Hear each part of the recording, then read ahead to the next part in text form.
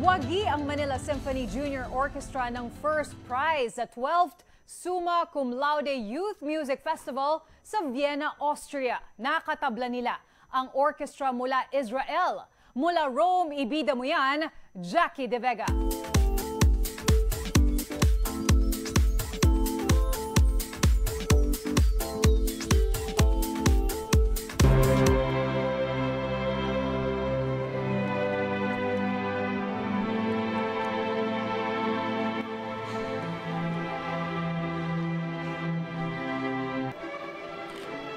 Mozart Divertimento hindi, Nino Alcalas Dayo Dayo Kupita,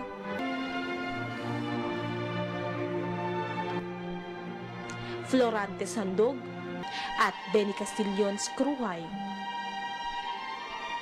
It is a very big pressure kasi nag-second prize kami last year. Ngayon po, ah, siyempre, kailangan mapantayan or malampasan namin yung ganong honor. So talaga pong nagtrabaho kami ng puspusan.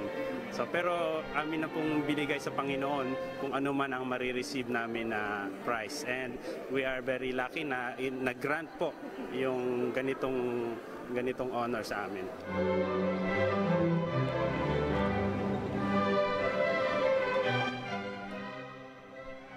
Inuwi nila ang first prize sa prestiyosong 12 Summa Cum Laude Music Festival sa Vienna, Austria noong July 8. that all our hard work paid off because each week we practice like four times from 2 to 9.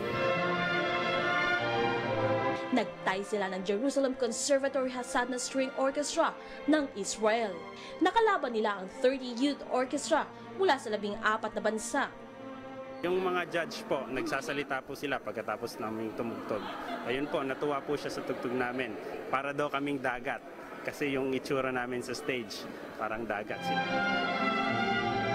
Tumulak papunta sa Italy ang grupo para sa last leg ng kanilang European Concert Tour.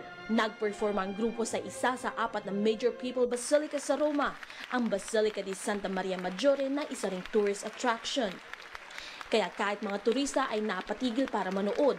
Dumalo ang Philippine Ambassador to Italy Domingo Nolasco at Philippine Ambassador to the Holy See, Grace Lucio Princesa. Kasabay din ang paggawad ng plaque of recognition mula sa Federation of Filipino Communities and Associations in Italy.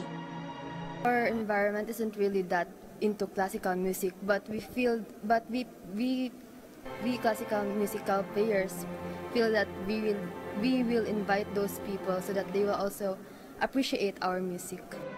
Ang youth orchestra ay binubuo ng tatlong maestro at 47 youth musicians mula sa iba't ibang panig ng Pilipinas na may edad 10 hanggang 23 taong gulang.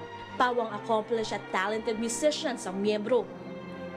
Si Damodar Das Castillo, cello player at pinakabata sa orchestra ay naka-receive ng scholarship sa Salzburg.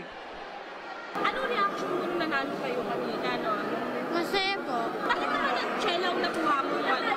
Kasi po yung violin matining po.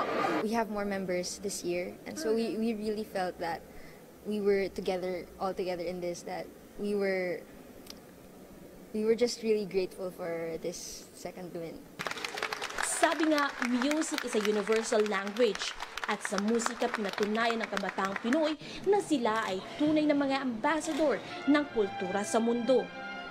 Jackie De Vega, ABS-CBN News, Rome, Italy. Samahan niyo po ulit kami bukas dito po sa inyong nag-iisang boses at kabalitaan. Sa Europe man o sa gitang silangan, kaagapay at tunay na maaasahan. Balitang Global